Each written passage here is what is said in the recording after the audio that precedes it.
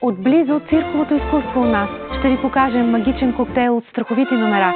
Колелото на смъртта изигран за последен път пред нашата камера от съпрузите Николай Балкански и бременната в петия месец Велизара.